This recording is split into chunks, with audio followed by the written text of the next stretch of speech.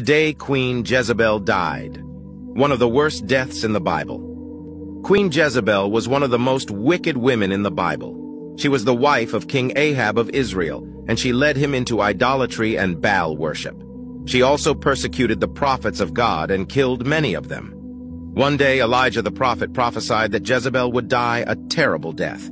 He said that dogs would eat her flesh in the field of Jezreel.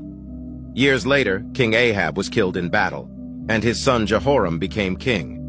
Jehoram was a wicked king, just like his father.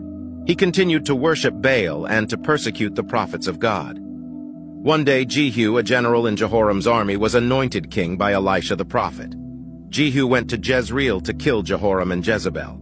Jehoram was killed in battle, and Jezebel heard the news. She painted her face and did her hair, and she went to the window to watch Jehu approach. Jehu saw Jezebel at the window, and he shouted, Who is on my side? Who? Two of Jezebel's eunuchs looked out the window and said, We are on your side, sir. Jehu said, Throw her down. The eunuchs threw Jezebel out the window, and she fell to the ground. Jehu rode over her with his chariot, and her body was trampled by the horses. Then Jehu went into the palace and ate and drank.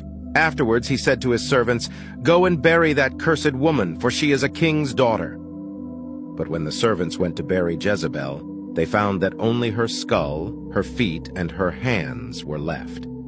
The dogs had eaten the rest of her body, just as Elijah had prophesied. Jezebel's death was a terrible death, but it was a just punishment for her wickedness. She had persecuted the prophets of God and led Israel into idolatry. Her death was a reminder that God will not tolerate wickedness and that he will eventually punish those who sin against him.